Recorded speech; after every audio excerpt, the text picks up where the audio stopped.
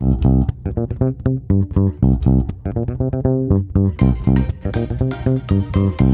you.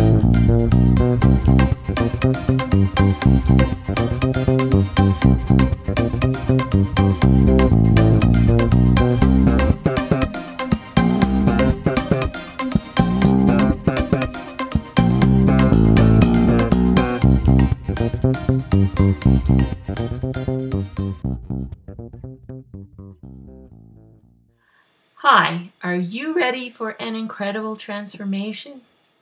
Well, I hope so, because I'm going to tell you how to have one today. One of the ways to have an incredible transformation is to be healthy, because if you're health not healthy, you cannot transform in any other way. Your body has to be healthy first and foremost. And how do you get healthy? By eating the right organic foods.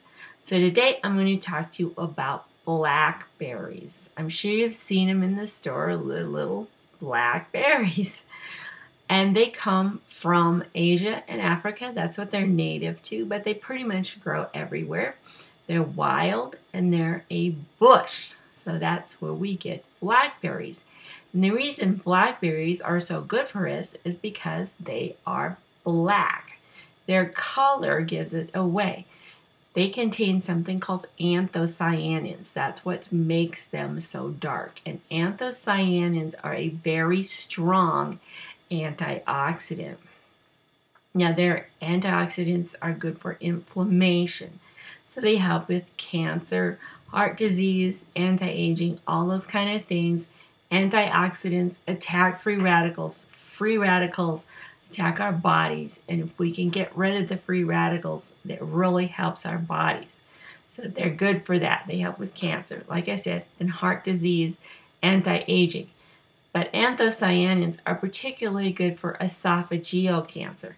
Sometimes people get esophageal cancer because they've had gastric reflux. Now, I had acid reflux for a long time, and I like to eat things now that will reduce my risk of getting esophageal cancer. I haven't had it for a long time, but I suffered with it for a while. So, if you want to have something that will soothe your esophagus, get blackberries.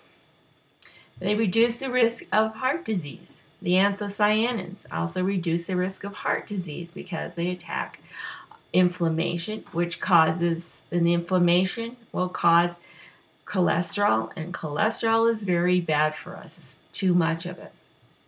Helps with our immune system because it has vitamin C. Blackberries contain vitamin C. And if you have vitamin C, that helps reduce macular generation, degeneration, which helps your eyes. And blackberries are full of fiber.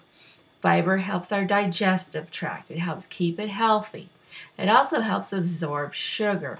So it helps you not become a diabetic or it helps you if you are a diabetic.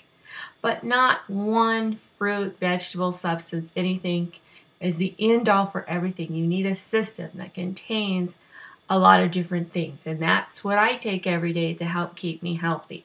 And believe me, I'm gone from being very unhealthy to losing 130 pounds and being much healthier. So if you're interested in that system, please download my free ebook. It's called Four Keys to Better Living. You can get it by clicking on the link in the post, and it's all about helping you stay healthy now and as you grow older. And if you got any value from this, please like, share, or put a comment in the post below.